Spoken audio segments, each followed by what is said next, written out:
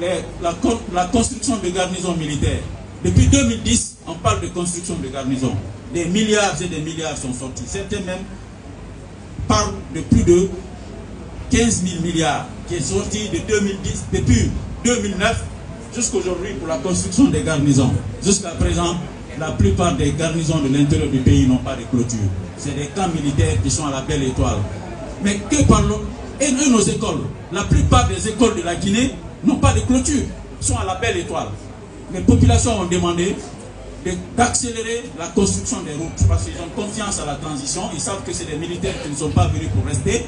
Et cette force-là peut être mise à contribution pour accélérer la construction des routes et accélérer la construction des autres édifices. Il y a des édifices qui ont, dont la construction a commencé depuis 10 ans. Allez-y dans certaines préfectures, la construction du siège de la région de la préfecture, depuis 10 ans, les chantiers sont abandonnés, l'argent a été détourné. Les populations ont demandé au CNT de dire, au CNRD, de se concentrer pendant cette période pour que toutes les infrastructures en souffrance soient achevées. Ce qui est aussi important, c'est aussi, ce n'est pas seulement euh, ces infrastructures-là qui sont importantes, les populations se sont prononcées aussi hein, que ce travail doit se faire dans un délai de 3 à 5 ans. Et c'est pourquoi, quand on a voté la résolution, on a pris l'intervalle minimal de 3 ans comme durée de la transition, et pourtant on nous a amené 39 mois. On a validé 36 mois pour être en conformité avec ce que la population a demandé à l'intérieur du pays. Donc, une fois encore, il faut que les réformes soient en harmonie avec les préoccupations de la population. Enfin, c'est la question de la réconciliation nationale. voilà un sujet qui préoccupe les populations guinéennes aujourd'hui. Et il faut que cette transition soit l'ultime opportunité pour poser les bases d'une vraie réconciliation en Guinée. Il y a des, ceux qui veulent faire la langue du bois ou les partisans de la dénégation disent qu'il n'y a pas un problème de réconciliation en Guinée. Mais si l'État, les citoyens n'ont pas confiance à l'État, est-ce que ce pays n'a pas besoin de réconciliation? Si les citoyens n'ont pas confiance aux institutions de la République, est-ce que ce pays n'a pas besoin de réconciliation? Si les acteurs politiques battent campagne dans leurs régions où ils sont majoritaires, est-ce qu'on ne, ne parle pas de réconciliation?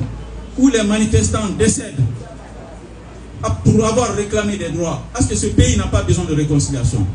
Alors la clé de la réconciliation, c'est la justice. Mais pour avoir, pour parler de justice, il faut d'abord donner l'opportunité aux personnes de se défouler. Parce que quand on a l'opportunité de vider son cœur, c'est qu'on peut vider la haine et laisser la place au pardon. Donc les Guinéens ont besoin de vider leur cœur.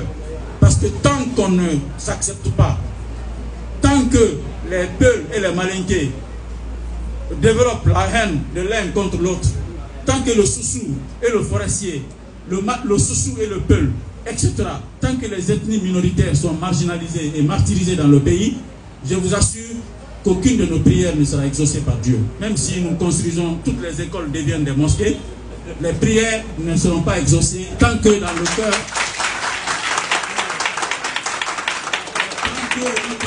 est rempli de venin, de la haine et du mépris de l'autre, tant que l'idée de vengeance est dans nos esprits, nos prières ne seront pas acceptées.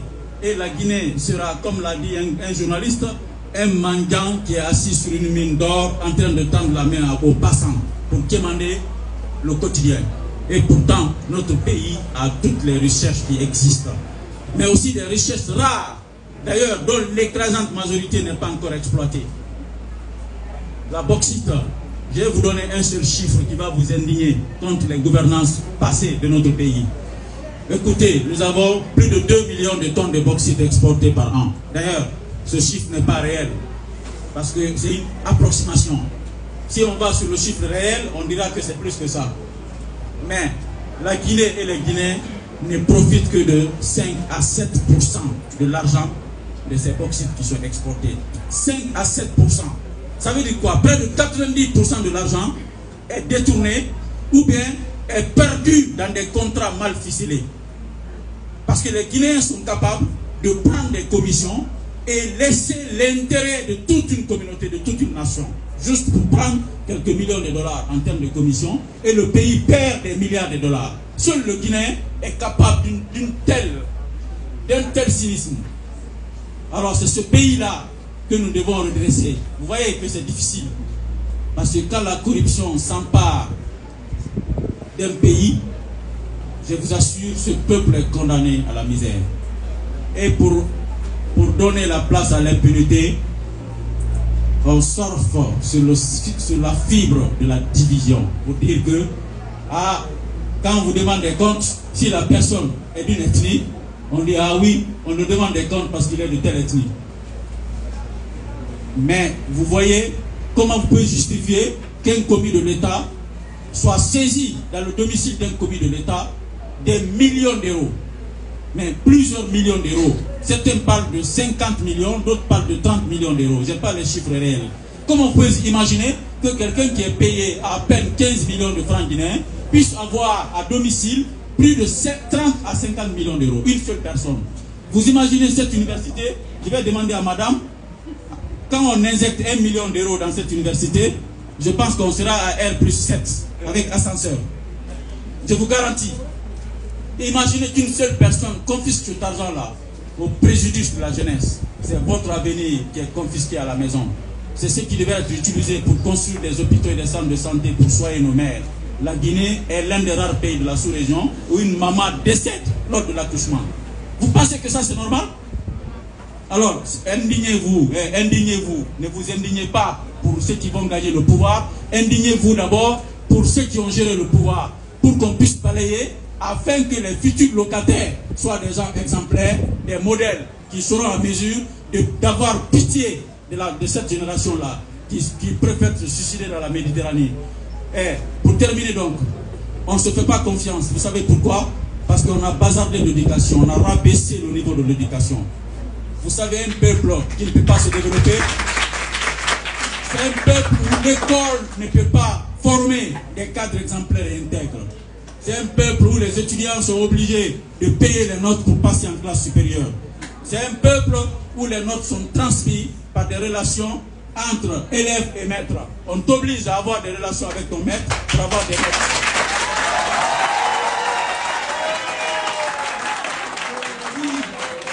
Parce que mauvaise gouvernance fait que la, mauvaise gouvernance fait que, chers amis étudiants, qu'on n'a plus confiance à l'école guinéenne, on préfère aller étudier à l'étranger.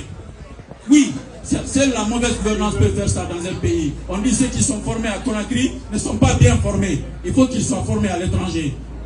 Mais est-ce que tous les enfants de Guinée ont la possibilité d'aller étudier à l'étranger? Alors on a rabaissé notre éducation pour vous empêcher de réfléchir sainement, pour vous empêcher de choisir, pour vous empêcher de vous engager et pour vous empêcher de juger. Indignez-vous contre ça. Parce que l'éducation, c'est l'éducation qui est le référentiel de la réussite d'une nation. Mais je termine sur un autre facteur que vous oubliez d'ailleurs. C'est l'impunité. Le fait que ceux qui détournent sont applaudis parce qu'ils ont la possibilité de distribuer l'argent pour se faire élire et se faire plaire. Et ceux qui disent la vérité et qui sont bien formés sont relégués au second rang. C'est ça l'injustice sociale. Alors le problème de la Guinée, c'est ce problème d'injustice-là. Et ce qui fait qu'on ne peut pas transcender l'injustice, c'est les clivages ethniques. Parce qu'on fait que le malinqué, le peuple, le chouchou, les forestiers ne, sont, ne se font plus confiance.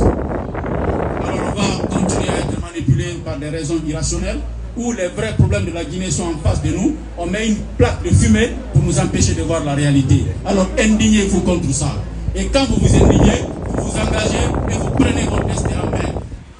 Nous devons tous être exemplaires. Donc c'est pourquoi nous sommes venus dans les universités, parce qu'on pense que vous avez la capacité critique.